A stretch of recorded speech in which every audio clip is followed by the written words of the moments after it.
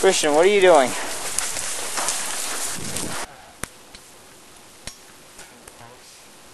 Turn the camera off!